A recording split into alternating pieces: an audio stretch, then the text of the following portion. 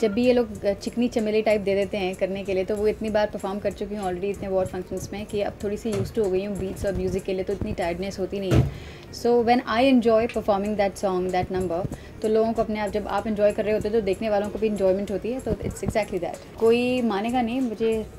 Stage fright अभी भी है मतलब मैं स्टेज पे जानते ही ब्लैंक हो जाती हूँ तो मैं हमेशा अपने डांसर्स को बोलती हूँ प्लीज़ मुझे याद दिलाना, अगर मैं भूल गई तो पैनिक मत होना। मतलब मैं इतनी डरती हूँ, कोई मानेगा नहीं, पर ये सच है कि मुझे